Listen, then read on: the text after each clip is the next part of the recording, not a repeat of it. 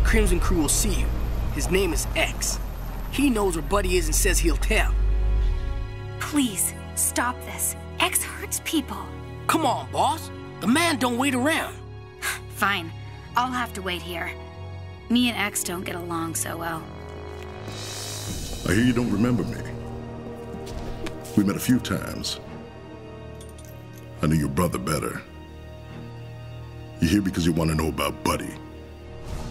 Guys in his crew call him Bud, and I call him a weasel.